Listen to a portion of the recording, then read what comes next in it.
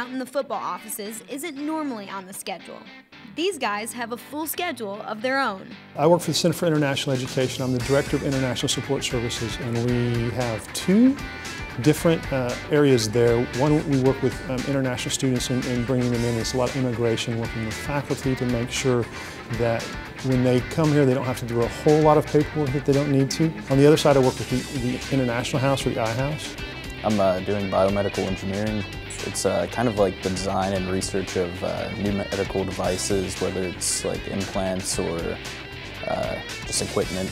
Taking the time to tour the facilities as an honorary coach allowed them to see more than the game of football. Looking at the facilities in the weight room and understanding how how much these athletes put in, the time, the energy, the effort that they put into um, their athletics. And seeing the volunteers take down the Bulldogs was pretty nice too. I'm a huge U T sports fan and uh, just thought it would be awesome to be on the field and get to meet the coaches.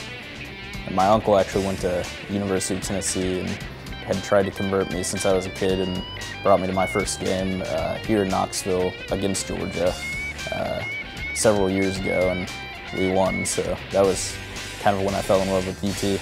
For UTSports.com, I'm Maddie Glab.